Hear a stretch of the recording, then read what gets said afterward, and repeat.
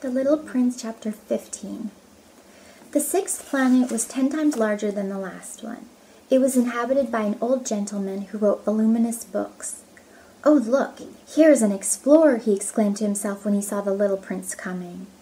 The little prince sat down on the table and panted a little. He had already traveled so much and so far. Where do you come from? the old gentleman said to him. What is that big book? said the little prince. What are you doing? I am a geographer, the old gentleman said to him. What is a geographer? asked the little prince. A geographer is a scholar who knows the location of all the seas, rivers, towns, mountains, and deserts.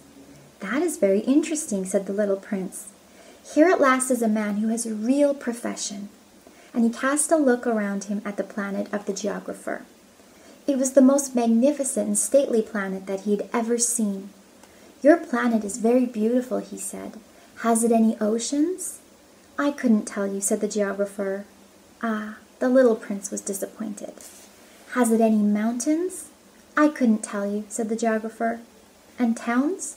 And rivers? And deserts? I couldn't tell you that either. But you are a geographer.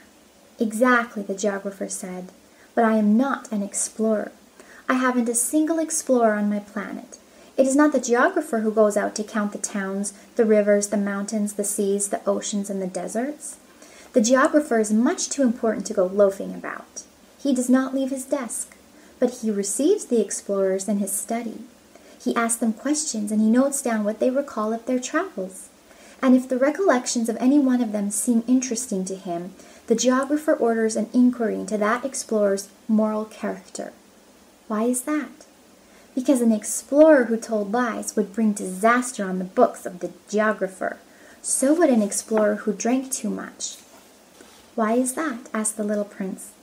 Because intoxicated men see double. Then the geographer would note down two mountains in a place where there was only one. I know someone, said the little prince, who would make a bad explorer. That is possible. Then, when the moral character of the explorer is shown to be good, an inquiry is ordered into his discovery. One goes to see it? No, that would be too complicated. But one requires the explorer to furnish proofs.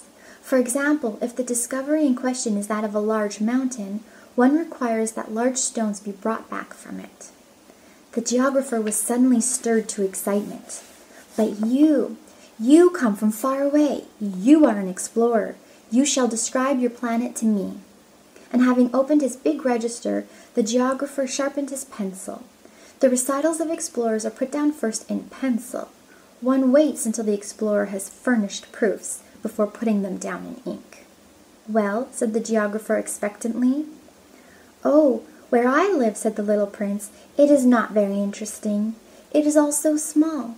I have three volcanoes. Two volcanoes are active and the other is extinct but one never knows. One never knows, said the geographer. I have also a flower. We do not record flowers, said the geographer. Why is that? The flower is the most beautiful thing on my planet. We do not record them, said the geographer, because they are ephemeral. What does that mean, ephemeral?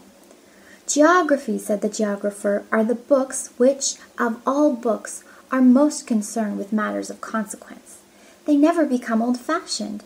It is very rarely that a mountain changes its position. It is very rarely that an ocean empties itself of, it, of its waters. We write up eternal things. But extinct volcanoes may come to life again, the little prince interrupted. What does that mean, ephemeral? Whether volcanoes are extinct or alive, it comes to be the same thing for us, said the geographer. The thing that matters to us is the mountain. It does not change. But what does that mean? Ephemeral, report, repeated the little prince, who never in his life had let go of a question once he had asked it. It means which is in danger of speedy disappearance. Is my flower in danger of speedy disappearance? Certainly it is. My flower is ephemeral, the little prince said to himself, and she has only four thorns to defend herself against the world, and I have left her on my planet all alone. That was his first moment of regret, but he took courage once more. What place would you advise me to visit now? he asked. The planet Earth, replied the geographer. It has a good reputation.